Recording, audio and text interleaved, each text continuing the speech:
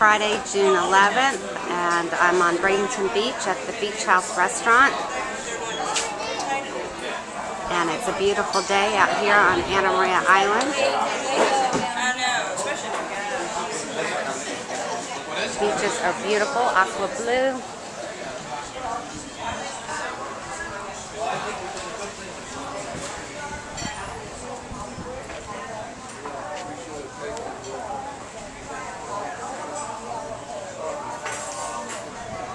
What a day on Anna Maria Island.